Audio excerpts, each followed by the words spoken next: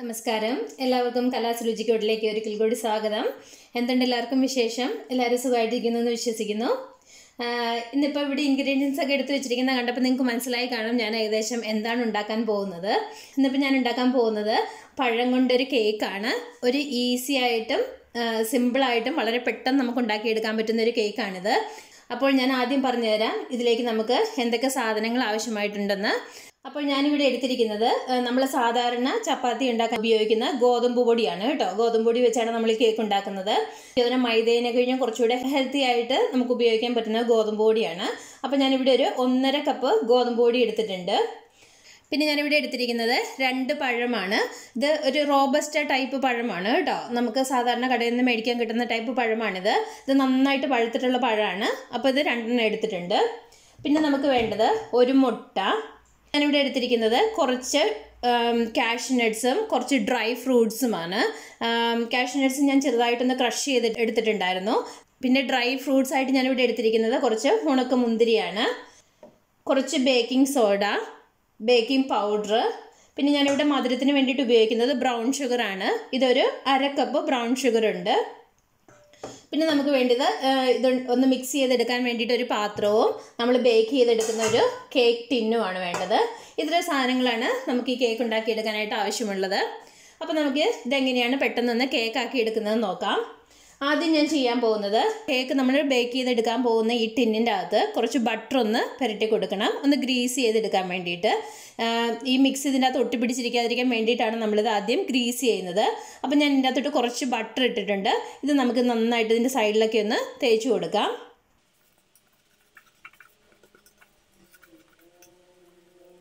ഇപ്പം ഇതുപോലെ ഞാൻ നന്നായിട്ട് ഈ കേക്ക് ടിന്നൊന്ന് ഗ്രീസ് ചെയ്തെടുത്തിട്ടുണ്ട്. ഇനി നമുക്കിത് മാറ്റി വയ്ക്കാം ഇനി നമുക്ക് കേക്ക് ഉണ്ടാക്കാനുള്ള മിക്സ് തയ്യാറാക്കി എടുക്കാം. ഇപ്പോൾ ആദ്യം നമ്മൾ ചെയ്യാൻ പോകുന്നത് എടുത്തു വെച്ചിരിക്കുന്ന ഈ ഒന്നര കപ്പ് ഗോതമ്പ് പൊടിയിലിട്ട് ആവശ്യമായിട്ടുള്ള ബേക്കിംഗ് പൗഡറും ബേക്കിംഗ് സോഡയും ഇട്ടൊന്ന് മിക്സ് ചെയ്ത് കൊടുക്കണം.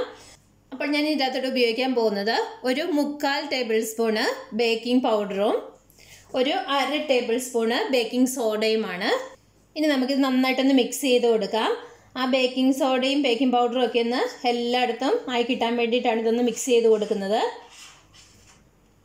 ഇത് നമുക്ക് വേണമെങ്കിൽ ഒന്ന് ഒരു അരിപ്പയിലിട്ടൊന്ന് അരിച്ചെടുക്കുകയോ അല്ലെങ്കിൽ ഒരു വിസ്ക് ഉപയോഗിച്ച് നന്നായിട്ട് മിക്സ് ചെയ്ത് കൊടുക്കുകയോ ചെയ്യാം. എങ്ങനെയാണേലും കുഴപ്പമില്ല. നന്നായിട്ടൊന്ന് മിക്സായി കിട്ടിയാൽ മതി. ഇപ്പം ഞാൻ ഗോതമ്പ് പൊടിയും ബേക്കിംഗ് സോഡയും ബേക്കിംഗ് പൗഡറും കൂടി നന്നായിട്ട് മിക്സ് ചെയ്തെടുത്തിട്ടുണ്ട്. ഇനി നമുക്കിത് മാറ്റി വയ്ക്കാം. ഇനി നമ്മളൊരു ബൗളിലോട്ട് ഈ പഴം ആദ്യം എടുത്തിടണം. ഇപ്പം ഞാനിവിടെ രണ്ട് പഴം എടുത്ത് വെച്ചിട്ടുണ്ടെന്ന് പറഞ്ഞിരുന്നു. ഇതിൽ ഞാനൊരു ഒന്നര പഴം ആദ്യം ഈ ബൗളിലോട്ട് ഇടുകയാണ്. ഒരു അരമുറി പഴം ഞാൻ മാറ്റി വെക്കുന്നുണ്ട്. അത് നമുക്കിനി വേറൊരു രീതിയിൽ ഈ മിക്സിലോട്ട് മിക്സിലോട്ട് ചേർക്കാനുള്ളതാണ്. അപ്പോൾ അത് നമുക്ക് മാറ്റി വെക്കാം. ഇനി ഈ പഴം നമുക്കൊന്ന് നന്നായിട്ട് ഒരു ഫോർക്ക് ഉപയോഗിച്ച് മാഷ് ചെയ്തെടുക്കണം. അപ്പോൾ ഇതുപോലെ ഒരു ഫോർക്ക് എടുക്കുക. ഫോർക്ക് എടുത്തിട്ട് നമ്മൾ നന്നായിട്ട് ഇതൊന്ന് മാഷ് ചെയ്തെടുക്കുക.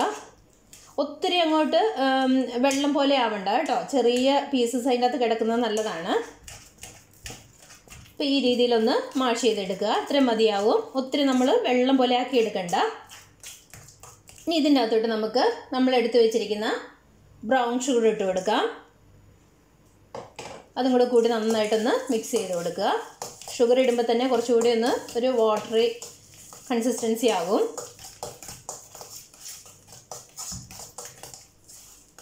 നന്നായിട്ട് ഫോർക്ക് ഉപയോഗിച്ചൊന്ന് മിക്സ് ചെയ്ത് കൊടുക്കുക. ഇനി നമുക്ക് ഇതിനകത്തോട്ട് നമ്മൾ എടുത്തു വെച്ചിരിക്കുന്ന ഒരു മുട്ടയും കൂടി ചേർത്ത് കൊടുക്കാം. മുട്ടയും കൂടി ഇതിലോട്ട് പൊട്ടിച്ചൊഴിച്ചു കൊടുക്കുക.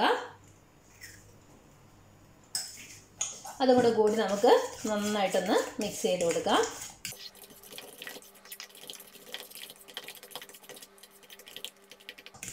അപ്പോൾ ഇതെല്ലാം കൂടെ നന്നായിട്ട് മിക്സ് ആയിട്ടുണ്ട്. ഇനി ഇതിനകത്തോട്ട് നമ്മൾ എടുത്തു വെച്ചിരിക്കുന്ന ഗോതമ്പ് പൊടി മിക്സും കൂടി ചേർത്ത് കൊടുക്കാൻ പോവാണ്. അപ്പോൾ നമ്മൾ ചേർത്ത് കൊടുക്കുമ്പോൾ കുറേശ്ശെ ചേർത്ത് കൊടുത്ത് മിക്സ് ചെയ്തെടുക്കുക. അപ്പം ഞാനൊരു പകുതി ഇട്ട് കൊടുത്തിട്ടുണ്ട്. അതൊന്ന് നന്നായിട്ട് ഇളക്കി കൊടുക്കാം.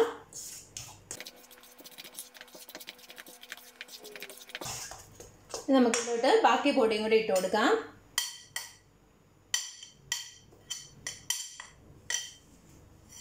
ബാക്കി പൊടിയും കൂടി ഇട്ട് കൊടുത്തിട്ടുണ്ട്. അതും കൂടെ കൂട്ടി നമുക്ക് മിക്സ് ചെയ്തെടുക്കാം.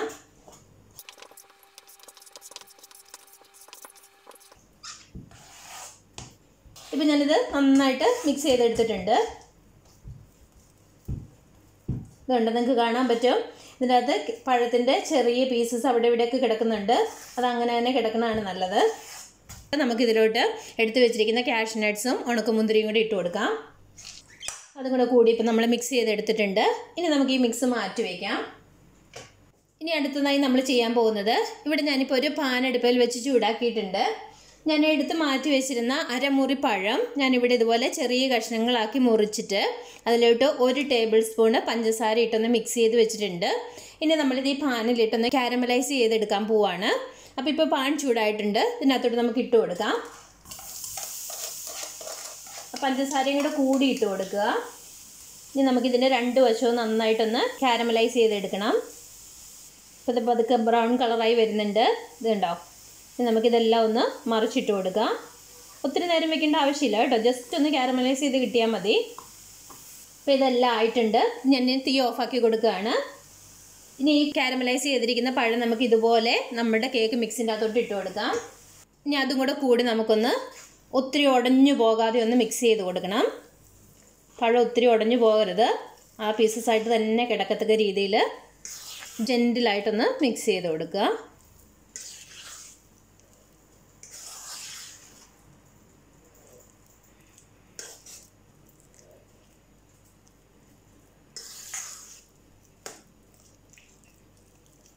ഇത്ര മതിയാവും.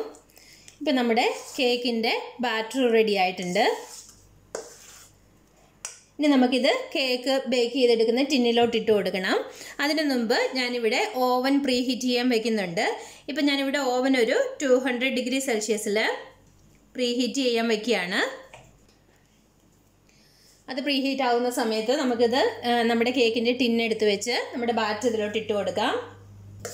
അപ്പോൾ ഈ മിക്സ് മുഴുവൻ നമുക്ക് ഇതിലോട്ട് ഇട്ട് കൊടുക്കാം.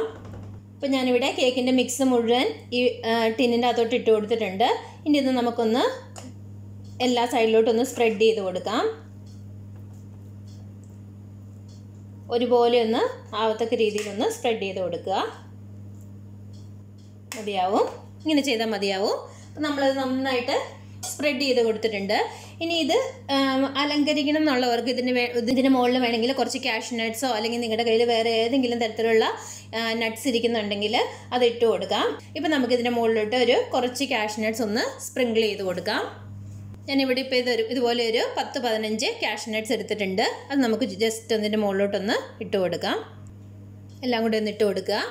ഇപ്പം നമ്മുടെ കേക്കിനുള്ള മിക്സ് റെഡി ആയിട്ടുണ്ട്. ഇനി നമുക്കിത് ബേക്ക് ചെയ്തെടുക്കാം.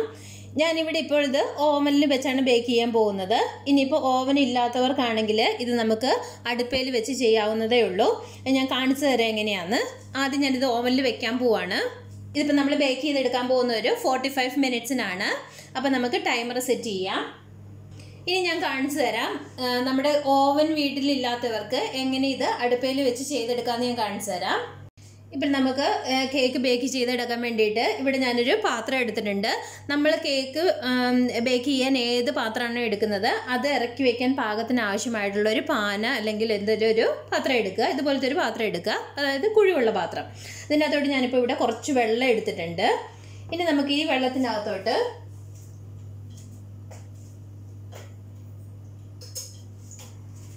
നമ്മുടെ കേക്കിന്റെ ടിന്ന് പൊങ്ങിയിരിക്കാൻ പാകത്തിന് ആവശ്യമായിട്ടുള്ള ഒരു പാത്രം ഇതുപോലെ വെച്ച് കൊടുക്കാം.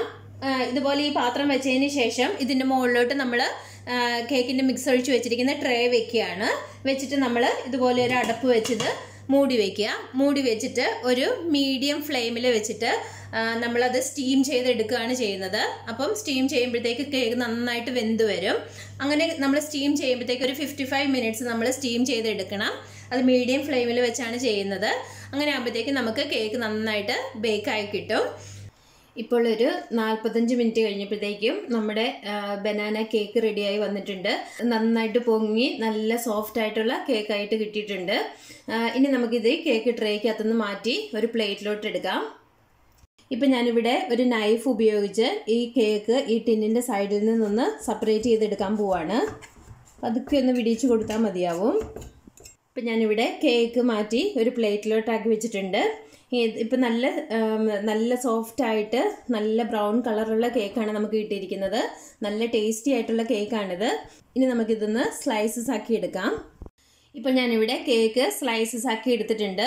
ഇപ്പം നിങ്ങൾക്ക് കണ്ടാൽ മനസ്സിലാകും. അതായത് ഇതിന്റെ സൈഡ് നല്ല ക്രസ്റ്റി ആയിട്ടും ഉൾഭാഗം നല്ല സോഫ്റ്റ് ആയിട്ടുമാണ് ഇരിക്കുന്നത്. കാണിച്ചു തരാം. ഇതുപോലെ ഇങ്ങനെ നല്ലതായിട്ട് ഞെങ്ങ് കൊള്ളുന്ന രീതിയിൽ നല്ല സോഫ്റ്റ് ആയിട്ടാണ് ഇതിന്റെ ഉൾഭാഗം ഇരിക്കുന്നത്. ആ സമയം പുറത്ത് നല്ല ക്രസ്റ്റി ആയിട്ടാണ് ഇരിക്കുന്നത്. അതുപോലെ നമ്മുടെ വീട്ടിൽ അതിഥികളൊക്കെ വരുമ്പോഴത്തേക്ക് നമുക്ക് പെട്ടെന്ന് ഉണ്ടാക്കി എടുക്കാനും പറ്റും. ഓവൻ ഇല്ലാത്തവർ സ്റ്റീം ചെയ്ത് ഉണ്ടാക്കുക. ഓവൻ വീട്ടിലുള്ളവർ ഇതുപോലെ ഒരു കേക്ക് ബേക്ക് ചെയ്തെടുത്ത് നോക്കുക. ഇഷ്ടപ്പെടുകയാണെങ്കിൽ നിങ്ങൾ എന്നെ അറിയിക്കാൻ മറക്കരുത്. അപ്പോൾ ഇനി പുതിയൊരു റെസിപ്പിയുമായി കാണുന്നവരെ എല്ലാവർക്കും നന്ദി നമസ്കാരം. താങ്ക്